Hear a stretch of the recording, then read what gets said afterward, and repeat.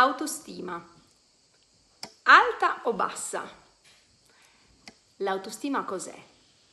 È quello che passa fra quella che è la percezione di sé come dato oggettivo, chi siamo veramente, la nostra capacità di reagire, la modalità di reazione, di comunicazione a situazioni che affrontiamo giornalmente, a confronto con quello che è il sé ideale, quello che vorremmo essere o che sentiamo in potenza di poter essere ma che non siamo ancora. Quindi un campus sull'autostima. Cosa bisogna aspettarsi?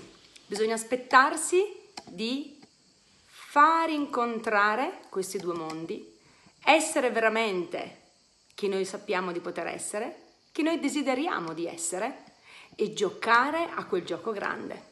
Tutto diventa più leggero, tutto diventa semplice, tutto diventa con il colore giusto al momento giusto e poi ce lo portiamo nella vita sempre. Campus sull'autostima Senigallia dal 26 al 30 agosto. Bambini, ragazzi, adulti, vi aspettiamo. Ciao!